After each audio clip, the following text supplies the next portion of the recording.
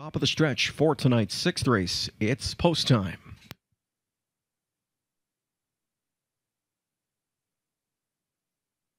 Here they come. And they're off. Charmbo Chrome made a break just as the gate sped away. A good beginning for Blame It on the Whiskey up on the outside. Park Hill nonstop left out enough to gain the pocket position. Outside from in third, trots along Gravitator. Then it's Northern Major fourth. Westmont fifth away. Sixth inside to Svensson.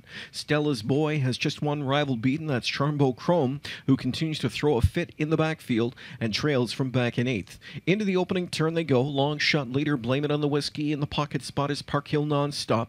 Sitting up with them from in third is Gravitator. The opening quarter in 29 and 2. Northern Major back into fourth. The fifth one is Westmont. And sixth inside to Svensson. And still with the pack is Stella's Boy from in seventh. Into the backstretch they go. 23 to 1 shot. Blame it on the whiskey. Loose on the lead until Gravitator gets rolling. Gravitator from third to second. And now the leader as Filion takes the bull by the horns. Gravitator shoots to the front. Back into second goes Blame It on the Whiskey. Park Hill nonstop. Another three legs back into third, half in a minute flat.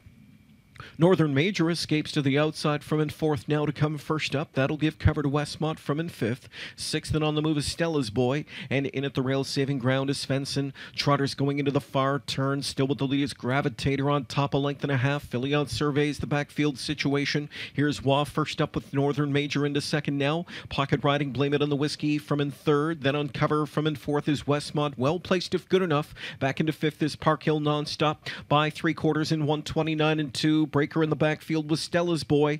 Off stride first over was Northern Major. Gravitator still there with the lead. From the pocket spot emerges. Blame it on the whiskey now. Blame it on the whiskey. Rushing up off cover comes Westmont. Park Hill nonstop at the fence. And here comes Svensson getting airborne late on the far outside. Deep stretch battle. Way out wide is Westmont closing up with Svensson. Svensson made a break though. Still there in between horses. Blame it on the whiskey. Blame it on the whiskey at 23 to 1. Pulls off the stunner off a ground saving trip in 158 and 4.